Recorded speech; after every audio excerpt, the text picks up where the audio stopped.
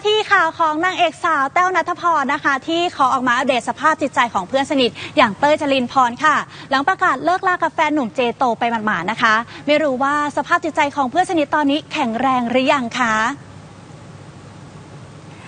จะไม่ถามก็ไม่ได้นะคะ เมื่อเพื่อนสนิทอย่างแต้วนัทพร ที่ต้องมาส่งกำลังใจให้เพื่อนสาวเต้ยจรินพร ที่เพิ่งประกาศชัดว่าได้เลิกกับแฟนหนุ่มเจโตเป็นที่เรียบร้อยค่ะ ซึ่งบอกว่าส่วนตัวไม่ได้ถามอะไรเพื่อนเลยเคารพในการตัดสินใจของเขา มองว่าอีกฝ่ายสตรองอยู่แล้ว ตนก็คอยให้กำลังใจอยู่ข้างๆเสมอ แต่แอบมีเสียดายบ้างเป็นเรื่องปกติของความสัมพันธ์นะคะ ช่วงนี้แก๊งเฟอร์บี้ก็ไม่ค่อยได้เจอกัน เพราะแต่ละคนคิวไม่ค่อยว่างกันเลย คงต้องรอให้โอกาสเหมาะเจาะอีกที คงมีการได้รวมตัวพูดคุยกันค่ะ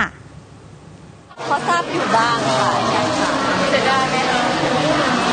ก็เนาะเราก็นิดนึงเหมือนกันค่ะ แต่เต้าก็เคารพในการตัดสินใจของเต้ยอยู่แล้วแต่ว่าเต้ยรู้ดีที่สุดว่าเขาเหมาะแล้วก็รู้สึกว่าอะไรคือความสุขในชีวิตเขาอะไรอย่างเงี้ยก็จริงๆมีโอกาสได้เจออยู่แล้วค่ะแต่อาจจะไม่ได้เจอกันครบๆอะไรอย่างเงี้ยค่ะไม่ค่อยอยากพูดเยอะเดี๋ยวแต่ว่าทุกคน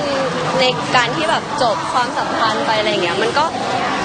เสียดายได้แต่ว่ามันก็ไม่ได้ใช่ที่สุดเนอะเขาก็ยังคงเป็นเพื่อนที่ที่ดีต่อกันได้อยู่ไรอย่างเงี้ยไม่เลยแต่ว่าเต้ยเขาเป็นคน strong มากอยู่แล้วเขาเหมือนแบบเขาเขา work ข้างในเยอะอะค่ะในการแบบว่า self-love นู่นนี่อะไรอย่างเงี้ยแล้วแต่ว่าเขาแบบ inspire